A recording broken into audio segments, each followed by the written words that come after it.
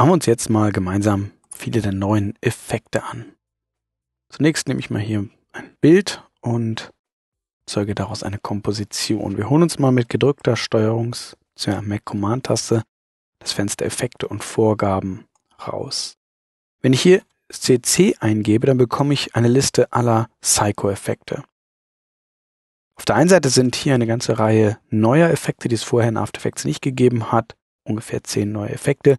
Auf der anderen Seite sind viele Effekte aktualisiert und arbeiten jetzt im 16 oder im 32-Bit Farbmodus, können also mit Bildern und Videoclips umgehen, die zum Beispiel in 10 oder 12 oder sogar 16-Bit Farbtiefe aufgenommen sind.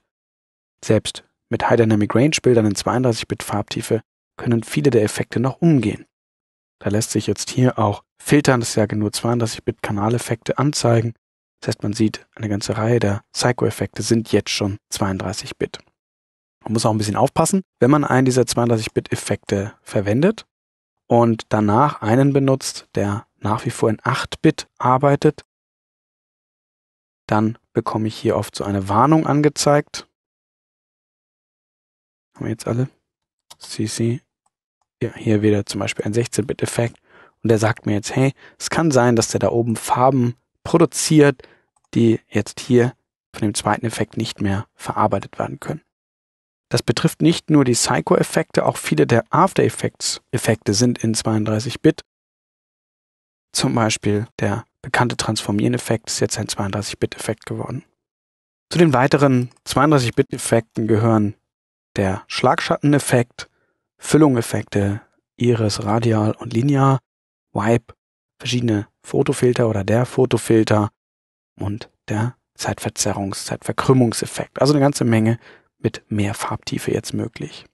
Ebenso spannend, was ich ja schon sagte, sind die neuen Psycho-Effekte und die wollen wir uns jetzt einfach mal anschauen. Zu den neuen Effekten gehört der Psycho Cross Blur, der Color Neutralizer, der Kernel-Effekt, der Threads-Effekt, ein Environment-Effekt. Aktualisiert wurden die Effekte Rainfall und Snowfall.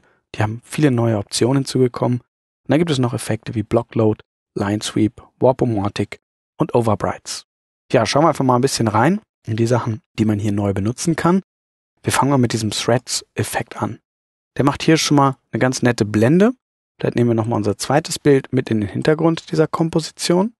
Sieht man, durch die Blende kann man nämlich das erste Bild im Hintergrund dann sehen. Ich kann hier die Richtung einstellen. Ich kann hier sagen, wie stark die Texturen da drauf sein sollen. Das sind hier, wie man sieht, so feine Linien nochmal oben drauf. Wie stark sollen die Schattierungen hier sein?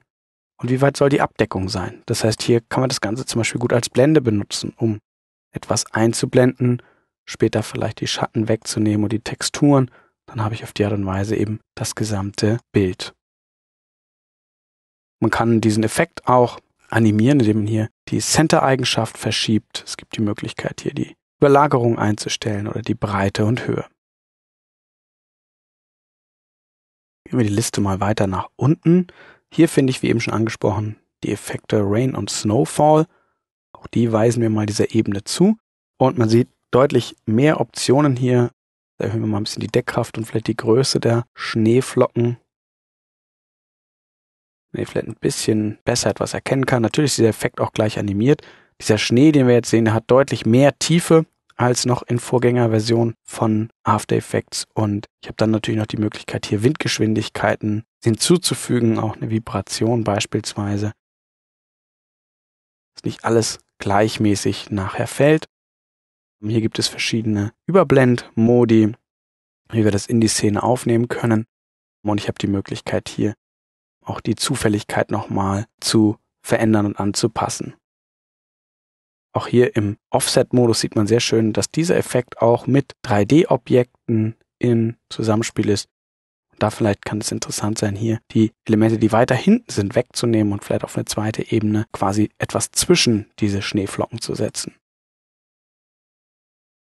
Snowfall, Rainfall ist genau das gleiche. Einziger Unterschied hier habe ich halt Regentropfen, während ich mit dem anderen eher etwas hatte, was wie Schneeflocken aussieht.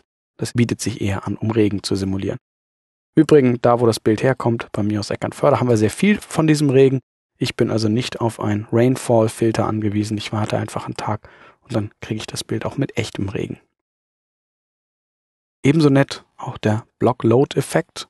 Hier habe ich die Möglichkeit, wir schalten mal das Hintergrundbild aus, das Bild aufzubauen aus Blöcken. Start Cleared schalten wir mal aus und zunächst sieht man hier noch nicht, dass sich irgendetwas tut, aber in dem Moment, wo ich hier die Completion erhöhe, sieht man, dass das Bild feiner aufgelöst wird. Also es fängt hier sehr stark gerastert an.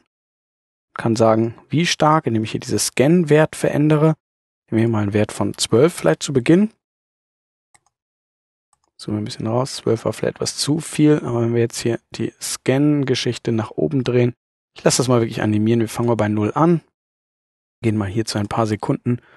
Setzen diesen Wert jetzt höher. Dann bekommt man so langsam eine Idee, was hier passiert.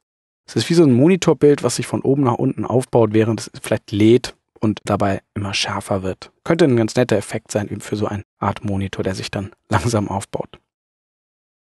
Ein Effekt, den ich ebenfalls jetzt schon schätzen gelernt habe, ist der Cross-Blur-Effekt.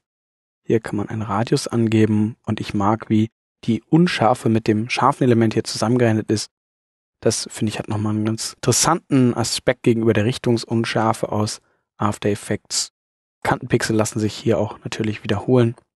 Ich kann das ineinander addieren, via Screen-Befehl zusammensetzen. Und ich finde, es ist ein toller Blur-Effekt. Schöne Unschärfe, die ich damit entsprechend erreichen kann. Und wenn wir dann mal hier weiter runter in die Kategorie gehen, dann gibt es hier einen neuen CC Line Sweep Effekt. Auch den weisen wir mal in meinem Bild zu. Hier kann man sagen, wie stark soll sozusagen der Aufbau sein. Die Line Completion. Dann nimmt das Ganze eben ähnlich wie der andere Effekt auch in Blöcken das Bild auseinander. Ich kann die Richtung hierbei angeben und die Dicke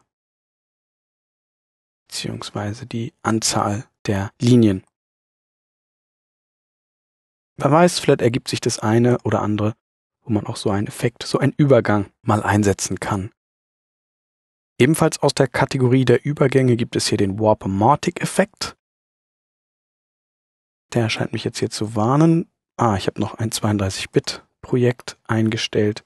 Brauchen wir hier gar nicht für das Footage. Mit der Alt-Taste kann man hier draufklicken und die Farbtiefe nochmal ändern. Und hier sehe ich jetzt meinen Warpomatic-Effekt. Äh, hier kann man einfach mal die andere Ebene auswählen, also den Tanker. Und dann kann ich hier sagen, wie schnell, wie stark soll sozusagen das eine in das andere Bild warpen. Es gibt dafür für den Übergang verschiedene Einstellungen. Zum Beispiel kann ich hier den Schwerpunkt auf die lokalen Unterschiede legen. Oder ich kann hier sagen, wie weich soll das Warpen sein, wie viele Details sollen dabei sein, wie stark soll das entsprechend stattfinden in den lokalen Bereichen hier. Das ist vielleicht jetzt gerade ein bisschen zu viel. Wir machen mal lieber das Ganze wieder ein bisschen glatter. Und ändern den Wert hier mal. Es gibt auch verschiedene Methoden, ein Twist Warp durchzuführen, beispielsweise hier. Das kann man ja ein bisschen so anpassen, wie es einem besten gefällt. Und dann wird aus einem kleinen Fischkutter gleich ein Riesentanker ich glaube 6000 Bruttoregistertonnen, aber ich kenne mich da nicht wirklich aus mit der Seefahrt. Ja, und dann gibt es den Lookup-Table-Effekt, den Farblut-Anwenden-Effekt, den gab es schon in After Effects CS 5.5, aber der kann jetzt mit den Lookup-Tables von Adobe SpeedGrade umgehen. Und ich habe mir hier mal solche Lookup-Tables, die im Photoshop CS6-Ordner liegen. Gehen wir mal kurz hier zurück wo die genau liegen. Hier ist mein Photoshop Programmordner, Photoshop CS6, dort im Ordner Presets unter 3D Lutz, da liegen die verschiedenen mitgelieferten, in Photoshop eigentlich mitgelieferten 3DL Cube Dateien. Und dort kann ich jetzt zum Beispiel sagen, ich möchte hier diesen Bleach Bypass Effekt haben. Das kann ganz reizvoll aussehen hier auf meiner Ebene. Können wir mal einen anderen ausprobieren. Hier Crisp Warm Look. Auch hier sieht man, es bekommt eine sehr schöne Färbung. Und mit Adobe SpeedGrade lassen sich natürlich auch noch weitere solcher Lookup-Tables anlegen, die ich dann in After Effects über den Lookup-Table-Filter neuerdings importieren kann. Ja, das war mal eine Übersicht über die vielen neuen Effekte, die zum Experimentieren in After Effects CS6 einladen. Ich denke, Sie werden beim Ausprobieren genauso viel Spaß haben wie ich.